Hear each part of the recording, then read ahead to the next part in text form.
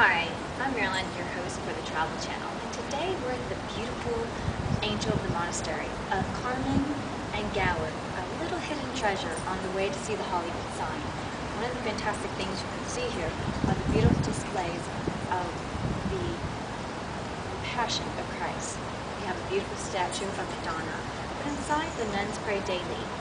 If you like the secret, well then the nuns just put a little note doing a prayer request, be praying your secret into manifestation.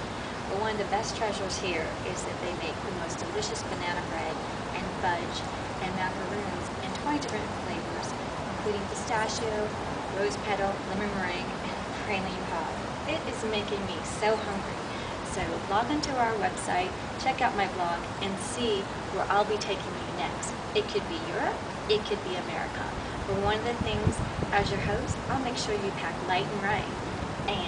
I will make sure your goes far on our adventures, including the knowledge that it takes to travel like a celebrity and a princess by giving you the best value for your dollar and making sure if there's a four and five star hotel, guaranteed that you'll get to stay there at a price that is out of this world.